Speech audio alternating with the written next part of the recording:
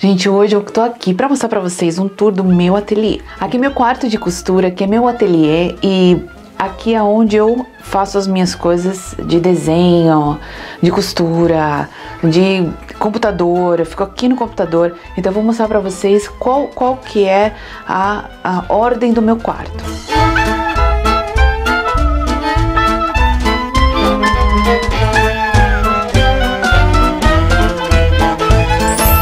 Marido falou para mim: pode pegar esse quarto para você, porque ele tem bastante luz. Eu tenho uma janela aqui bem grande. vou pegar a câmera na mão e vou mostrar agora para vocês os detalhes do quarto. Então, aqui é a porta da entrada do meu quarto, né? E aqui eu tenho um quadro de aviso. Eu tenho uma a máquina de costura. Quem não viu o vídeo falando sobre a máquina de costura velhinha que eu tenho, eu vou deixar o link aqui em cima para vocês, para vocês verem, é, assistirem o vídeo. Eu não uso muito ela porque ela precisa fazer ajustes e tudo mais e eu não tenho tanto espaço para deixar ela aberta. Então eu fecho ela, ela tá dentro desse, dessa mesinha né? E eu tenho umas coisinhas aí em cima, né? Coisas que eu ganhei. Essa estante de metal aqui do lado eu coloco esse apoio, né? Para fazer, para cortar o tecido e fazer quilt, né? E tudo mais, patchwork. Então eu ponho aqui do lado, eu coloquei uma, meu marido colocou para mim um ganchinho lá em cima, então eu coloco a régua e também esse, esse tapete de borracha. Lá em cima, ó, na primeira prateleira aqui da estante, eu tenho tudo que é relacionado a tinta, pintura, né? Então eu tenho as tintas acrílicas, eu tenho os pincéis e também eu tenho a tinta de tecido, né? Mas não só isso também, eu tenho uma caixa de viés aqui, ó. Tá vendo? Essa aqui é a caixa de viés. Aí depois, na segunda prateleira, eu tenho é, colas, cola quente. Então, tudo que é relacionado a é, costura. Por exemplo, aqui eu tenho, uma, tenho as latinhas, né? É, aqui eu coloco coisas assim de ferragens. Esse esse aparelhinho aqui é bem legal, porque você coloca, se vocês quiserem, depois eu mostro para vocês como é que funciona. Ele é um é, para você encher a bobina da máquina, né, é, do lado da máquina. Você não vai precisar tirar a linha que você está mexendo e para encher a bobina, ó, tá vendo? Você vai poder mexer, ele, você liga ele na tomada, é um aparelhinho, uma caixinha pequenininha. E aí, se vocês quiserem, eu mostro para vocês é, como é que funciona isso daqui. É muito legal, muito legal mesmo. Aqui eu tenho alguns velcros que eu fiz esse saquinho aqui. Eu guardo aqui as fitas é, ó, tá vendo? É uma, é uma lata é, que eu comprei que vem bolacha. Esse daqui é um potinho baratinho que eu comprei, que eu coloco as fitas enroladas. Quem não viu, tenho um, um vídeo falando sobre como organizar certas coisas no, no ateliê. Então eu vou deixar o link aqui em cima também para vocês verem, tá bom? Aqui eu tenho umas linhas, que até minha mãe que me deu isso, essas linhas, eu preciso organizar. E aqui eu tenho uma lata só de zíper, né, tá vendo? É, não tenho muitos tamanhos diferentes, mas eu coloco na lata. Aqui a cestinha com as minhas linhas, né? Não tenho muita linha não, né? Aí aqui as coisas de sabonete, de sabão, onde estão guardados aqui. Aqui eu tenho as latinhas, né, com as, os botões, então eu separo por cor. Ó, tá vendo? Separo por cor, assim, né? Você pode ver, ó. Aí fica mais fácil. O que eu acho legal, eu gosto das, eu adoro essas latinhas, acho linda. Meu marido que me deu, olha só, essa que linda, né? Então eu coloco os botões por cor. Eu sei, eu, é porque eu sei aonde estão as cores, mas é, se você não sabe, né, é legal mesmo vidro, né? Porque você vê de longe a cor, né, o que tem dentro. Esses potinhos de vidro aqui é tudo de geleia, só lavar bem, né? Então tem, ó, tá vendo? Você já sabe o que, que tem dentro, fica mais fácil, né? Mas eu acho que fica muito bonita as latas, ó, que lindas as latas aqui, essa e essa. E eu acho legal porque você tem também feita, né, o seu ateliê. Então, Por isso que eu gosto das latas. Aqui embaixo, gente, ainda tenho que arrumar direito, mas tem coisas aqui. Eu tenho algumas fitas adesivas aqui que você usa para florista, porque eu faço as flores de papel. Se quem não viu ainda esse vídeo, eu vou deixar o link aqui em cima. Você vai poder ver o, as flores de papel, como é que eu faço. Aqui eu tenho uns papéis para desenhar. Um dia, se vocês quiserem, eu mostro para vocês meus, alguns dos meus desenhos. Aqui, ó, tá vendo? Os moldes de bolsas, de coisas que eu compro. Aqui são alguns, tá? E alguns que eu fiz mesmo. Né? Aqui também eu tenho moldes, ó. Mas, ó, é, são moldes de aventais, saias, coisas assim, que tem muita coisa que eu não fiz ainda, né? E bolsas também. Né? Então eu guardo aqui, deixo nos envelopes assim, é assim que vende aqui. Os moldes, né? Você compra, você acha o um número, tem um catálogo, você pega pelo número, vai nas gavetas. Eu não sei como que é no Brasil, gente. Eu não, não sei mesmo.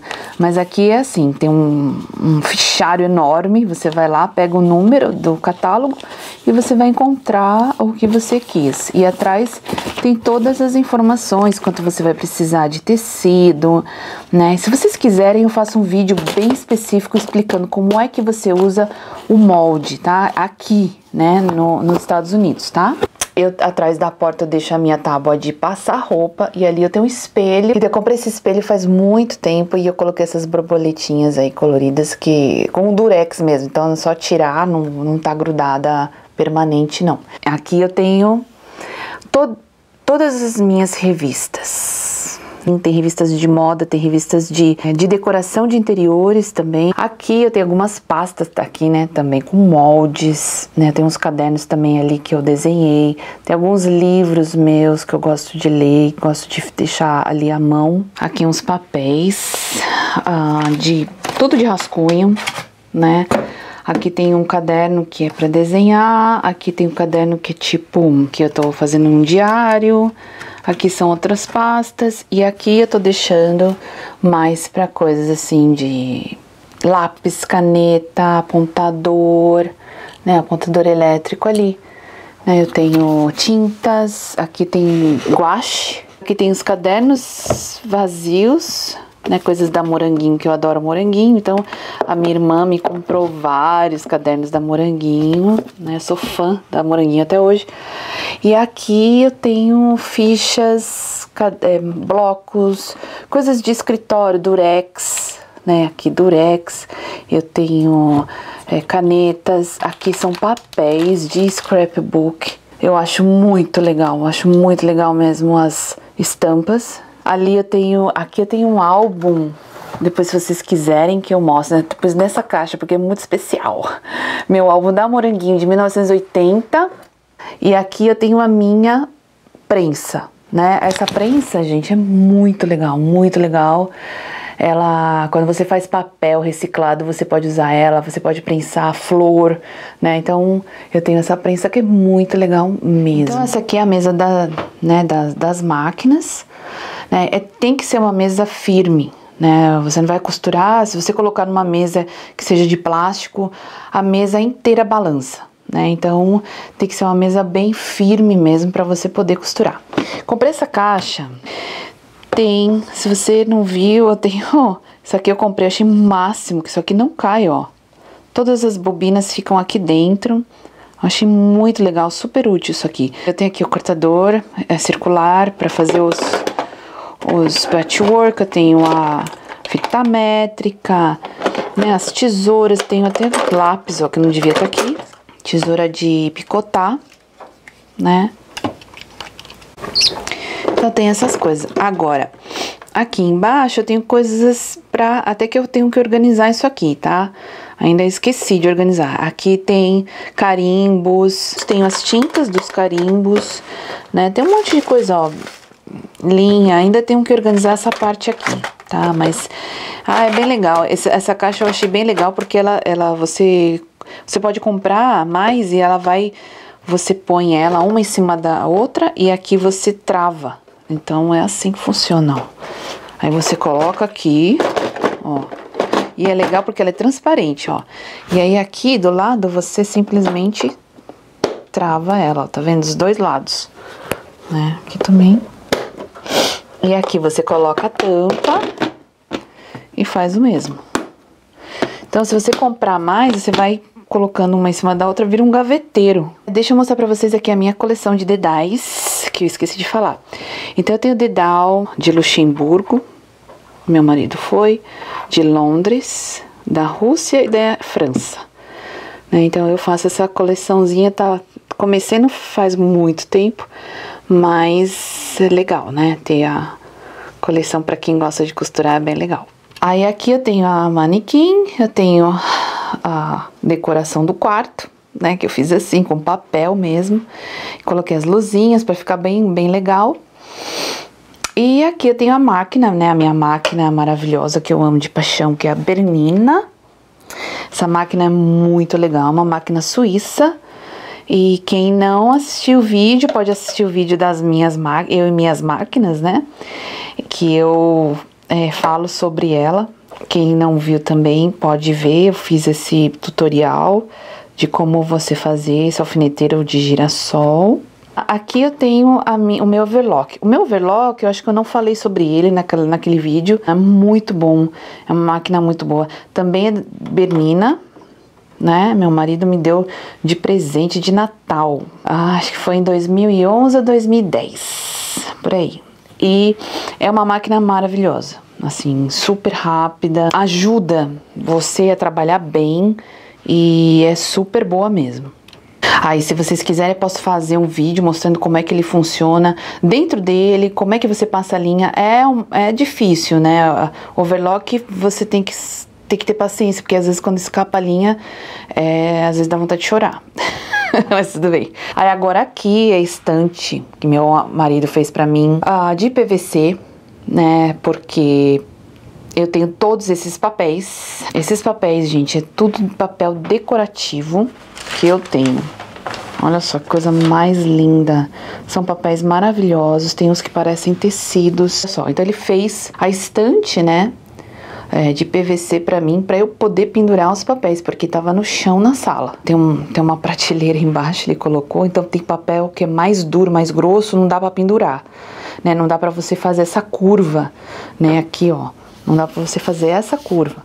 Então você tem que deixar ele, ele reto. Então ele fez uma prateleira ali, colocou é, as rodinhas para mim, né? Então ele adora fazer essas coisas e ele fez para mim, achei muito legal e passa nas portas, né? Então se eu quiser mudar a estante para outro quarto, eu posso passar, passa na porta. Aqui em cima eu vou deixar o link para vocês. Se você não viu a estante que ele fez para mim, para as plantas, né? É, e ele gosta. Eu falo, aí ah, eu quero, ele faz. Muito legal. Aqui tem a janela, né? Que é uma janela super grande, que tem bastante luz. Aqui é, são, é a parte do meu computador, né? Aí agora aqui, gente, é o meu closet. E o closet é o seguinte, ó. Eu tenho uh, uma prateleira lá em cima, eu coloco umas coisas, tem papel. Eu tenho essa caixa de é, plástico que eu comprei, que eu achei muito legal. E ela é transparente, então eu indico vocês, se vocês forem guardar as coisas, tipo tecido, essas coisas, procura comprar, se você for comprar, né, caixas de plástico transparente para você ver o que já que tem dentro de longe. Tudo isso, gente, tá tem coisa dentro. Então, eu tenho caixas de tecido, tenho caixas de retalhos, né? Isso daqui é entretela que eu tenho. E é isso, gente. Ali é a minha gaiola. Aqui, ó, minha gaiola com as minhas flores. Aí aqui também eu tenho o meu é, cavalete. Agora eu vou explicar para vocês por que, que eu tenho esse papel todo, porque foi o seguinte, em 2014 eu arrumei emprego aqui numa loja de arte e a loja de arte já tinha mais de 30 anos e tudo mais. Eu comecei a trabalhar lá, eu trabalhei pouquíssimo tempo, porque de, logo depois eles fecharam a, a, loja. Todos os produtos, né, da loja eles venderam para uma outra empresa que veio e deu aquela limpa, tirou tudo, tudo, tudo. Só que tinha coisas que eles não queriam. E aí eu virei pro cara e perguntei, né? Eu falei assim: "Você vai levar esses papéis?" Porque tava no chão. Ele falou assim: "Olha, se você quiser esse papel, pode pegar, mas tem que tirar daqui até amanhã." E eu assim, então eu, eu fui tirando aos poucos. Meu marido pegou também, me ajudou, trouxe um monte de papel aqui em casa. E eu falei, o que, que eu vou fazer com esse papel todo? Eu não sei, mas enfim, como eu gosto de mexer muito com papel, né, e faço sempre alguma coisa ou outra, eu peguei para mim. E é por isso que eu tenho essa quantidade de papel, né? Não me incomoda, adoro meus papéis, né? Por isso que eu faço bastante coisa, é, flores, eu gosto de fazer e tudo mais. Eu quis mostrar, fazer esse tour aqui do ateliê. Eu acho que vocês vão gostar de ver as coisas que eu tenho, né? Eu não tenho muita coisa, eu acho, né? que eu não tenho muita coisa, mas são coisas que eu venho colecionando, que eu venho guardando, que eu venho comprando há anos, há 10 anos. Eu comecei a comprar uma coisinha aqui, um tecidinho ali, uma linha, feltro, comecei com feltro, né, na verdade, comecei com feltro e fui, né, progredindo, né, e é isso que é legal, né, a natureza, né, da gente, a gente vai querendo saber mais, mais e mais. Então, tem muita coisa que eu ganhei tem muita coisa que eu comprei super barato. É, então eu comprei na loja, né, que eu trabalhava os tubos de tinta, que eles já estavam querendo, né, se livrar das coisas, então eles baixaram muito o preço. Então eu consegui comprar muita coisa legal, barata por causa disso. Por exemplo, a prensa que eu comprei, é, eu paguei super barato, metade do preço, né? É, eu tava de olho nessa prensa então a gente acabava vendo coisas, oportunidades assim que nunca, né? Nunca ia ser muito difícil eu ter, né? Ia ser ou muito caro para ter. Né? Então eu tive oportunidades bem legais de ter trabalhado nessa loja. Agora, uma outra coisa que acontece muito aqui nos Estados Unidos são as, as vendas de garagem, né? Que aqui as pessoas, por exemplo, de final de semana, elas vendem as coisas que elas não querem mais. Então, né? Tipo um bazar, né? E elas põem na frente da casa delas, você passa de carro, ah, quanto que é isso? Ah, você vende por tanto, não sei o que. Tá, bacana. Por exemplo, esse cavalete que eu tenho, eu paguei acho que 10 dólares, né? Então, sabe, são coisas, são oportunidades que você, quando você vê, você tem que comprar, né? Aqui é assim, né? Então, por isso que é legal, né? A gente tem muita oportunidade legal para você ter. Por isso que eu tenho várias coisas, né? Eu não paguei caro, por causa dessas oportunidades que aparecem pra gente, né? E é isso, gente. Então eu espero que vocês tenham gostado desse vídeo. Se você gostou, dá um gostei aqui embaixo, assim no canal para mais novidades e até a próxima.